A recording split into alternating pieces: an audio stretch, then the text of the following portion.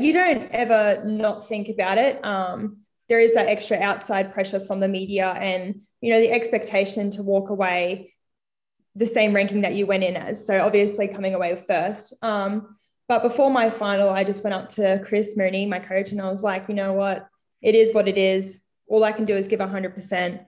If it's not what you want it to be, it's what I want it to be. And I'm happy that I've just made a final.